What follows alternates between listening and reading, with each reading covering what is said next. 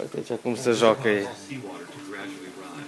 Flooding in to form a river valley, then pouring out as a freshwater lake.